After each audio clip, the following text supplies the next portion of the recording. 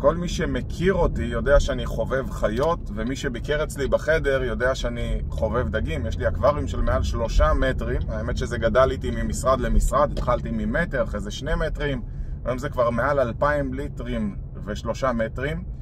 וכשהגיע בחור חדש לתחזק לי את האקווריום, הוא אומר לי, תשמע, אתה חייב לשדרג פה את הציוד. ואתם יודעים איך זה, בא בחור חדש, אתה מיד חושד בו שהוא מנסה לשדרג לך את החשבונית שלו.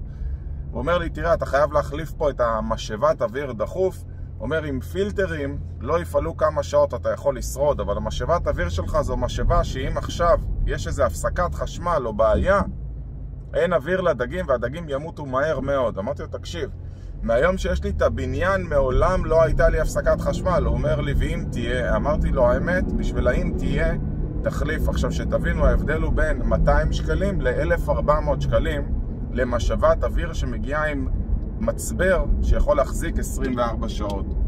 באותו זמן זה היה נראה כאילו הוצאה מיותרת, בטח שאין לי עודף כסף לשום דבר כזה.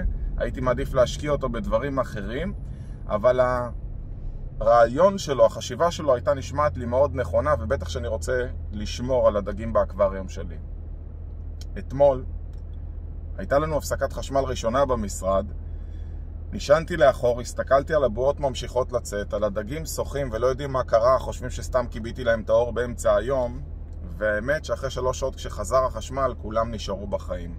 יכול להיות שזה היה קורה בלילה, ואז לא היה לי את המשאבה עם האוויר, ואולי לא היה חוזר החשמל תוך שעתיים, והייתי בא בבוקר וכל הדגים האהובים שלי היו מתים. ולמה אני מספר לכם את זה?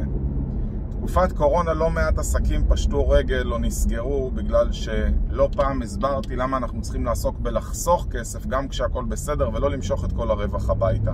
רוב בעלי העסקים חוסכים כסף לעצמם, לפנסיה, ואף פעם לא חושבים על היום שאולי יכול לקרות משהו לעסק.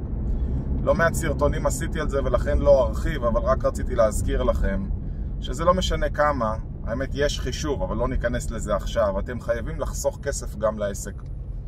כל חודש לשים קצת בצד וקצת בצד כקצת בצד ולא לחיות מהלוואה להלוואה כי כמו שאתם חוסכים לילדים שלכם, כמו שאתם חוסכים לעצמכם, ככה אתם צריכים לחסוך גם לעסק שלכם אם אתם רוצים שבמקרה של הפסקת חשמל או הפסקת קורונה הוא ישרוד. יש שלוש צורות שונות של חיסכון ואחת מהן נקראת קרן מועדות. לא ניכנס לכל השאר כרגע, מי שרוצה שיסתכל ביוטיוב או באפליקציה, יש שם הסבר מדויק.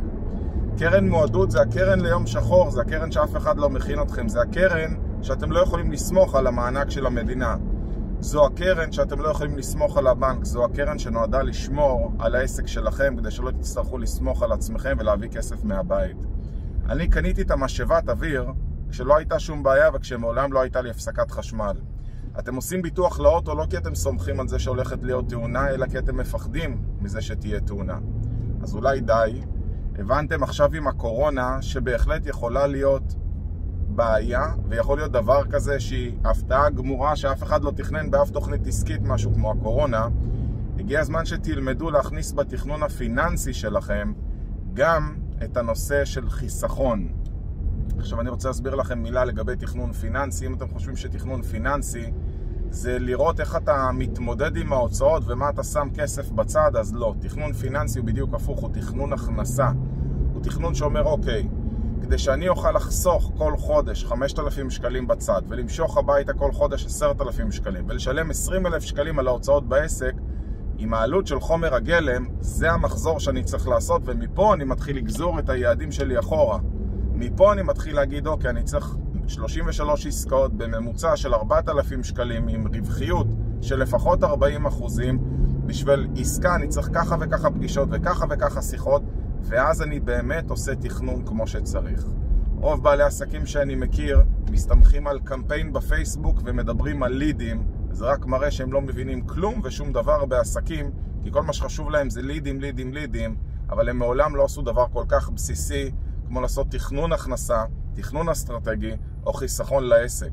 אז נראה אתכם כשיש בעיה קטנה ופתאום קיביתם את הקמפיין בפייסבוק, מה קורה לעסק של אותם אנשים ואיך הם ישרדו. אז אם אתם לא רוצים להיות אחד מאלה, אני ממליץ לכם ללמוד טוב טוב את השיעורים הקודמים ששלחתי, אפשר לראות אותם או ביוטיוב או באפליקציה. ואם אתם לא מסתדרים, תרימו לי טלפון, אני מבטיח לעזור. שיהיה לנו יום חזק, נשתראה בשיעור הבא. ביי ביי.